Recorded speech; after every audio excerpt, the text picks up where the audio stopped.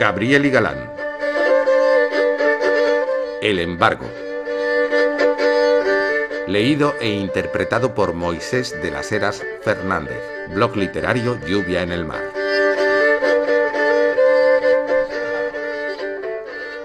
Señor juez, pase usted más adelante y que entre en todo eso. No le dé usted ansia, no le dé a usted miedo. Si venís ante ayer a afligirla, yo tumbo a la puerta. Pero ya se ha muerto. Embargar, embargar los avíos, que aquí no hay dinero.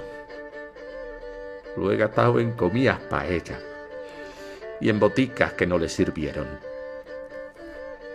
Y eso que me queda, porque no me dio tiempo a venderlo.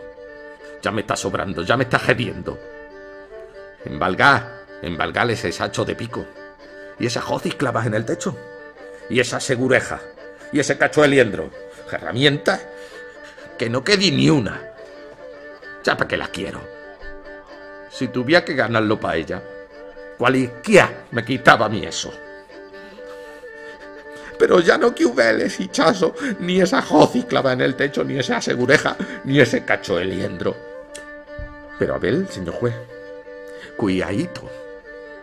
Cuidadito si alguno de esos es osado de tocarle a esa cama un día ella se ha muerto. La camita donde yo la he querido cuando ambos estábamos buenos. La camita donde yo la he cuidado. La camita donde estuvo su cuerpo cuatro meses vivo. Y una noche muerto. Señor juez, que ninguno sea osado de tocarle a esa cama ni un pelo, porque aquí lo jinco delante de usted mismo.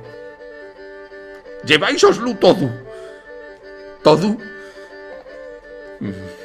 Menos eso. Que esas mantas tienen su de su cuerpo. Y me huelen. Me huelen a ella cada vez que la huelo.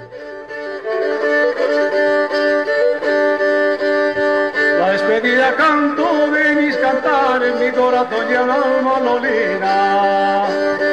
Hecho la llave, dueño mío, que olvidado me tienes, que malito estás cuando bebe no vienes.